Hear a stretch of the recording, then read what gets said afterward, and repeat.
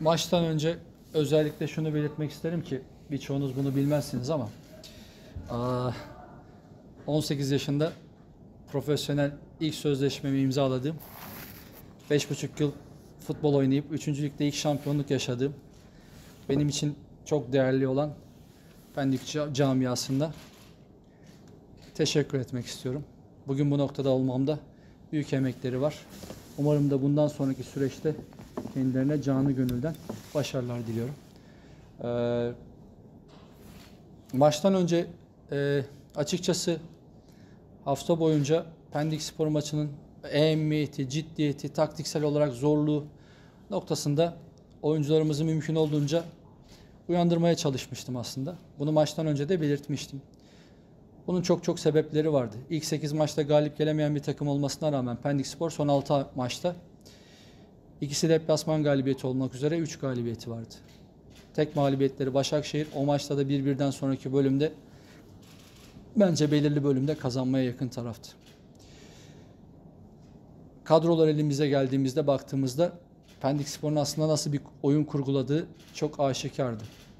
Özellikle ikinci bölgede sert bekleyip geçişler kovalayabilecek Halil gibi, Turam gibi, Erencan gibi, Lusamba gibi hatta Gökçen gibi oyuncu tercihi aslında İvo Hoca'nın nasıl bir oyun planladığını bence bize bir nevi gösteriyordu ki ve nitekim de öyle oldu. İlk yarı bizim beklediğimizde gerçekçi konuşmak gerekirse e, her ne kadar topa sahip olan takım biz olsak da bizim Ailton'la bir net pozisyonumuz var ama Pendik Spor'un da iki tane pozisyonu vardı.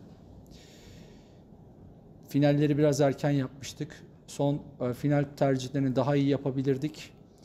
E, ama ikinci araya başladığımızda biraz daha topa sahip olup finalleri erken yapmamayı, rakibi biraz sallandırdıktan sonra arkaya koşularla sonuca gitmeyi hedeflemiştik. İkinci yarının başında gene Halil'le bizim offside diye durduğumuz ama onların kaçırdığı bir pozisyon var. Neticesinde 61'de Ailton Tiam işbirliğiyle bulduğumuz savunma arkasına atılan bir top. Sonrası bulduğumuz gol. Ondan sonraki bölümden çok net söyleyeyim aslında kurguladığımız, oynamak istediğimiz oyun 60-90 arası bölümdü. Biraz daha skor avantajı ile beraber biraz arkada kalır gibi gözüksek de ciddi gördüğünüz pozisyonlar yakalayan takım Kayseri Spor'du. Bunda taraftarımızın itici gücünün de etkisi olduğunu söyleyebilirim. Neticesinde onun öncesinde Ali ile bulduğumuz gol, Vardan dönen gol. Son dakikalarda da uzatmalarda sanırsam geçen hafta bize Trabzon'da 3 puanı getiren Bahaken'le bulduğumuz ikinci gol bizi inanılmaz mutlu etti. Ve 2-0 net 2-0'lık galibiyet almamızı vesile oldu. Bundan dolayı en başta oyuncularımı yürekten kutluyorum. Ortaya koydukları mücadele, taktiksel sadakat, disiplinden dolayı. İnanılmaz anlamlı, inanılmaz bizim için, şehrimiz için inanılmaz güzel bir galibiyet.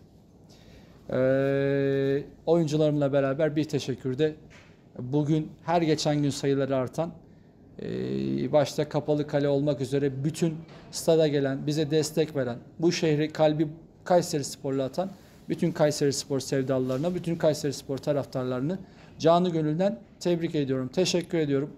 Bizi desteklemeye devam etsinler arkadaşlar.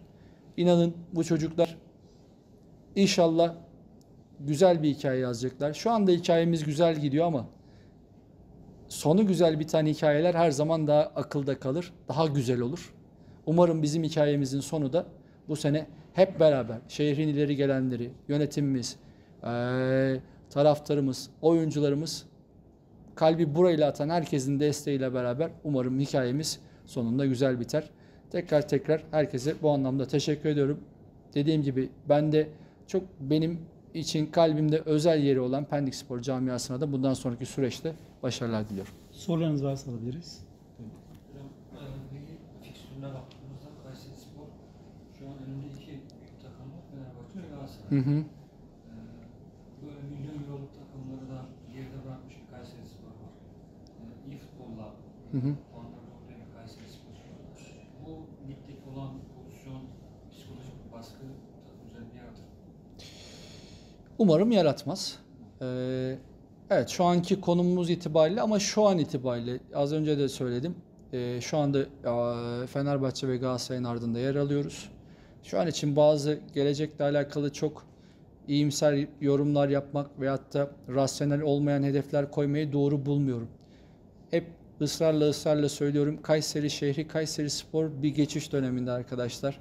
Umarım bu geçiş dönemini en, en sağlıklı atlatarak başarıya koşarız. Hem sorunlarımızı hallederiz hem o kadar iyi kenetleniriz ki e, bu senesi de arzu ettiğimiz bunun yerini şu anda belirlemek çok kolay değil. Çünkü sezon başı Kayseri Spor başladığındaki hedefi aslında belliydi. Ben şu anda zikretmek istemiyorum ama sizler inanın benden çok daha iyi biliyorsunuz. O yüzden biz tekrar tekrar ayaklarımız yere sağlam basacağız. Rasyonel hedefler koyacağız. Maç maç gideceğiz. Ee, oyunumuzu geliştirmeye devam edeceğiz. İnşallah bugün özellikle son bölümde e, sanırsam çocukların oynadıkları oyun taraftara taraftarımızı mutlu etti. Umarım da onu 90 dakikalara yayarız. Ee, gelen herkesi sonuçta futbol temaşa bir sanatı bana göre bir sanat. Ee, bizim buraya gelip bilet alıp bizi seyretmeye gelen her insanı, her Kayseri Spor sevdalısını, her futbol severi biz e, oyunumuzda mutlu etmeye devam ederiz. Başka soru var ederim.